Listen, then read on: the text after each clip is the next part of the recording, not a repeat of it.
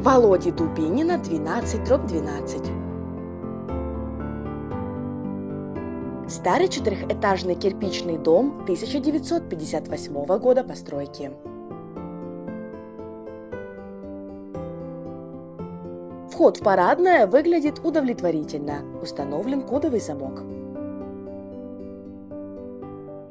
Во дворе находятся гаражи.